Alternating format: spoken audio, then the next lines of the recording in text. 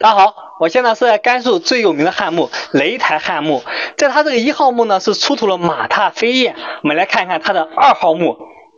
这二号墓它的墓道相对来说要长一些，这一天它这里也是为土洞，在这上面都是有一些彩绘，很漂亮。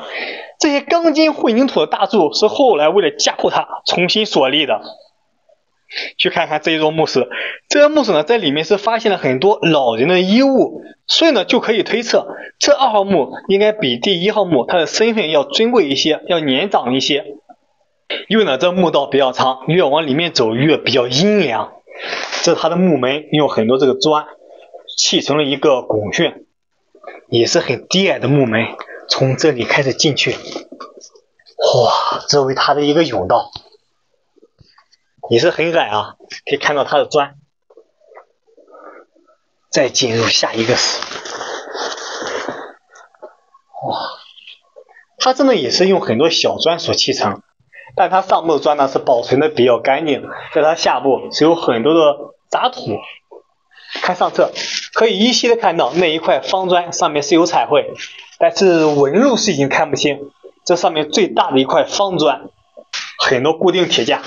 从这里开始进入中室，哇，这中室比较大一些，这里很多青砖是比较破损，这汉代的砖它的承受压力很大。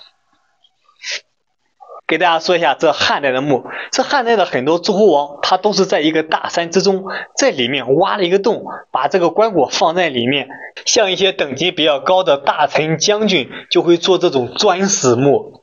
我现在所在的是为他的宗室，在前方就是为他放棺椁的后室，在这里呢，它是开了两个门洞，就可以说明它这里是为做合葬墓。我们看看这两个门洞，它里面是通不通？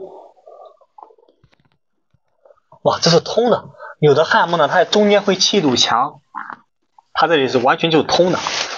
这前中后三个室呢，它的规制都是一样的，都是有这个小砖向上锁砌，在上面收口，中间放一个大方砖，然后在上面放一些彩绘和图案。这座墓呢，在当时盗的也是比较严重，并没有留下什么东西。